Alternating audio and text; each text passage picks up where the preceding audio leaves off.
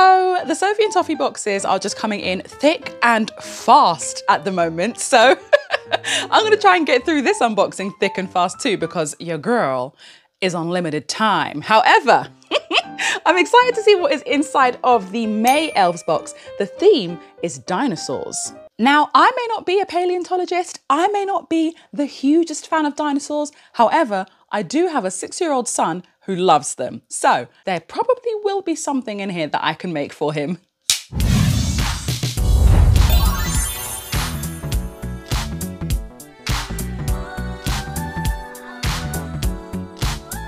Hey guys, it's your girl Aisha Shasha, and let's get into this box. Now, I would like to know, please, in the comments, are you a massive fan of dinosaurs? Let me know. Are you big on them? Are you a little bit like, eh, not particularly fussed? I like cute cartoon looking dinosaurs, okay? like that's more my sort of vibe. If they look a little bit too realistic, I'm a bit like, eh. Anyway, um, the box today, absolutely gorgeous. Silver stars today, not holographic. So yes, I've noticed the difference. Very, very nice. Um, for once, the wrapping paper actually matches the theme. They've been wrapping the elves boxes up in dinosaur paper for quite some time and they changed the inside of the box as well, but it's never actually matched the theme. So today is the first day. Now, let's get into the box. If you are brand spanking new to Sophie and Toffee, by the way, if you've never even heard of Sophie and Toffee, basically they are an incredible craft store whereby you can get lots of different crafts of different styles, but they also have a variety of subscription boxes. Mainly resin crafts is what they specialize in. And this one here is the Elves box. So keep on watching. And if you think to yourself, I might want to jump on board and, you know, maybe subscribe to, uh, to their service, I do have a discount code in the description box below. So go ahead and check that out. Now, I like to do my unboxings with a uh, with a slightly less informed brain. Basically, I don't like spoilers. I try to avoid them if I can. This is the booklet. We'll look at that in just a second. Okay, so we're gonna just stick hands in. I'm gonna try and get through this quickly if I can. This is bezels. Do we have dinosaur bezels? Ooh, oh my goodness. That's like a Yoshi egg. Oh! Oh my gosh, there's so many. Okay, this clearly looks like a Yoshi egg to me. Super Mario lovers, hello. Can we not see a Yoshi egg right here? Oh my gosh, this is so, so cute. Now, you guys are gonna have to fill me in on like which dinosaurs are which. Hang on, let me just get that to focus. There we go. because I don't know all of them. I do have a friend, hello Lucy, if you're watching, darling, who's probably gonna scream out the names of all of these types of dinosaurs. I'm not even gonna bother to say any of them because I know that I'm gonna get some of them wrong. I just know it. I know it. I know it. Is that, is that, is that a Diplodocus? The one with the long, long neck? Or is it an Apatosaurus? It looks more like a Diplodocus. Listen, I said I wasn't gonna say because I don't wanna get it wrong and I don't wanna look silly. oh, we've got one hatching out of an egg. Oh, okay, this is really, really cute.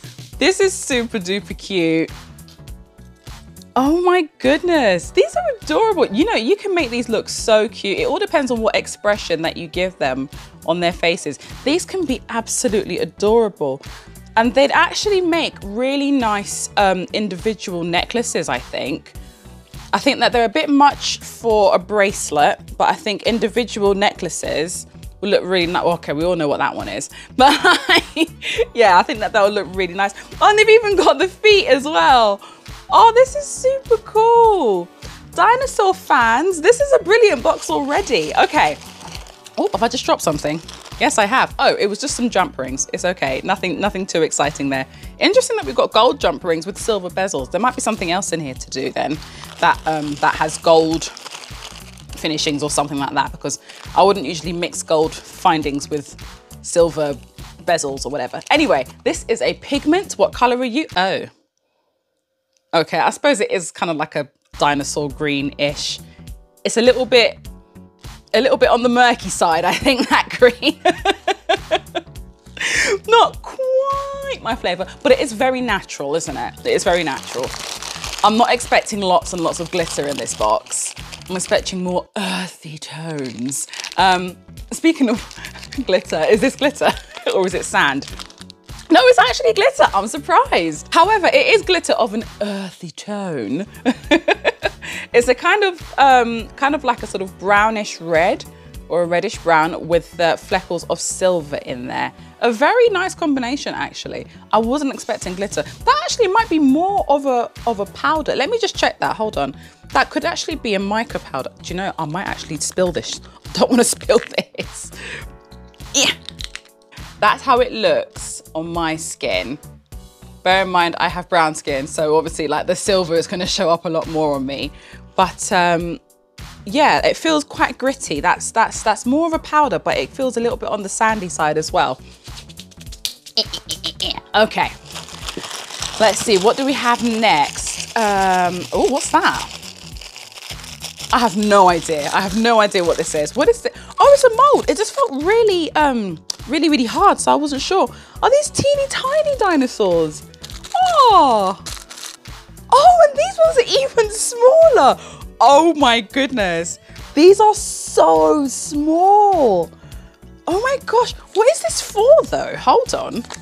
Okay, it's got a little note in here that says this silicon hole maker is for the missing hole in one of the fossils mold. Okay, so we have a set of fossils. This might be T-Rex fossils, maybe. I'm not sure. I'm just going by the shape of the skull, but I think maybe one of them has a little a little hole nubbin thing missing. I'm not entirely sure. Um, gonna have to gonna have to look into that. Um, but look at this. Look at these are so tiny. And then we also got this. I'm not sure if this is meant to be used as like a um, like a stand maybe for your fossil once you completed it. Perhaps, not entirely sure. We'll find out shortly. Oh, see, this is more my bag. Cute dinosaurs. Thank you, Sophie and Toffee. Okay. when they look a bit too realistic, I'm like, eh. But when they look like this, I'm like, yay! I promise I am 34. I promise. I know I act like a child, but I promise you I'm 34. Anyway, how cute are these? Oh, I can definitely make something for my son with these. I like that they've all got the little nubbins in there so that you can actually like immediately make them into like jewelry or keychains or phone charms. Do people still put phone charms on their phones? I don't know. Or is that just like an early 2000s thing? but you can make stuff like that immediately because it's already going to make a hole for you. So that is super duper cute. They are so sweet. Oh, I'm happy about those. okay.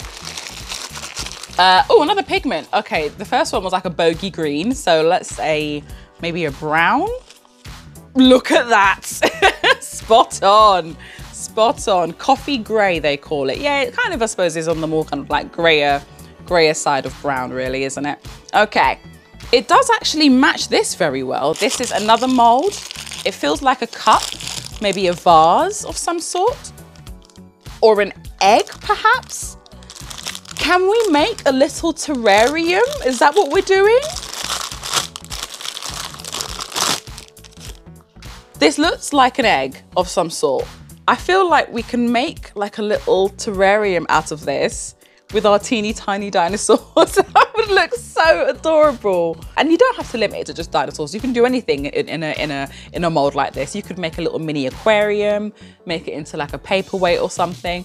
That's pretty cool. You could even do like an Easter thing. I know Easter has gone a long time ago, but you can do like an Easter themed thing in an egg-shaped mold like this. Oh, we have some resin. Is this scented resin? It's in a tube color changing resin. Ooh, so this one goes from red to yellow by the looks of it, or yellow to red.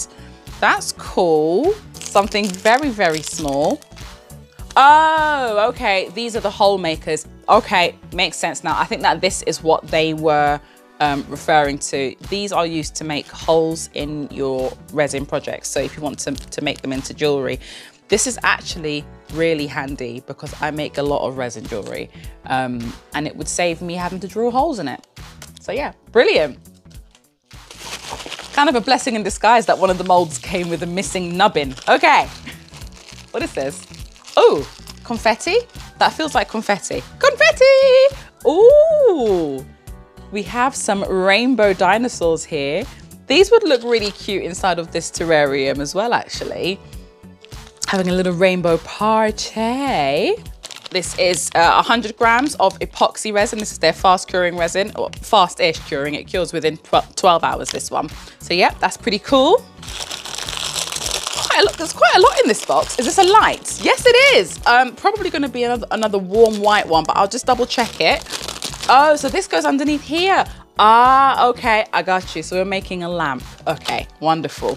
By the way, guys, speaking of lamp, did you see my Winter Deer Wonderland lamp that I made that I'm gonna be putting up at Christmas time? If not, I have it literally right next to me. Hold on.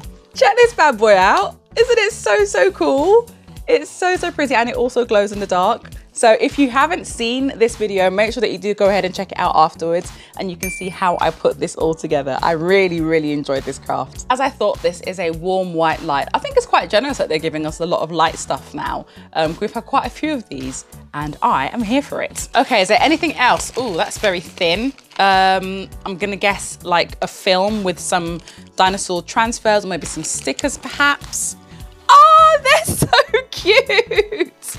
These are so cute. They look just like the ones that are in the mold. This is adorable. This is definitely giving me like Barney vibes for sure.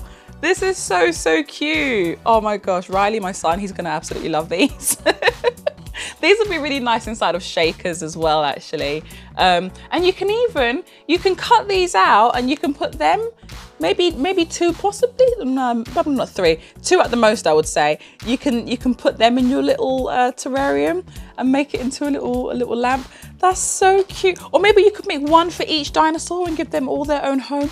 Oh that would be so cute. Oh my gosh. Please let me know, by the way, because I like to do little brainstorming sessions in these unboxings. Let me know what you would make with the stuff that you've seen me unbox so far, okay? A tiny bit of gold chain. So this must be for any jewelry that you decide to make. And then that's why we got the golden jump rings. Okay, just want to really quickly have a little flick through the booklet just to make sure that I haven't missed anything. I want to make sure that I have everything.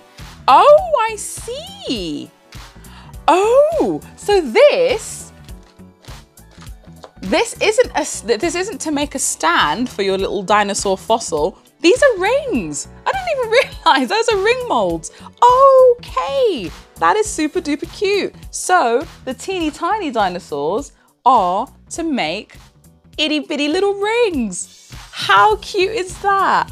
Okay, so what they suggest is um, using the um, cute dinosaur mold to um, create a little like uh, terrarium light for it. So you can use that or you could even use the little um, uh, dinosaurs that were on the film that I showed you.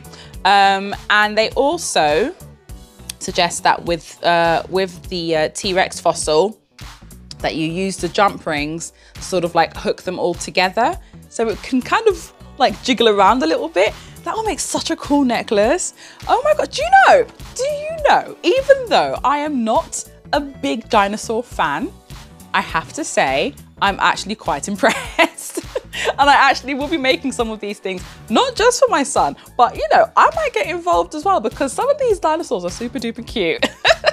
anyway, let me know what you guys think of this box. Do you think that there are quite a lot of decent crafts in here? Is it just not really your thing? Do, of course, let me know your thoughts in the comments section. I would love to know what you're planning on making if you have this box. Usually, if you like what you see and you've missed the chance to actually get this box, Sophie and Toffee do release all the items individually on their site, so then you can sort of just like pick and choose what you want. But whatever you do, make sure that you do check out my discount code in the description box below so you can save yourself a pretty penny because if I'm getting hooked up, I do my very best to make sure that you are getting hooked up too.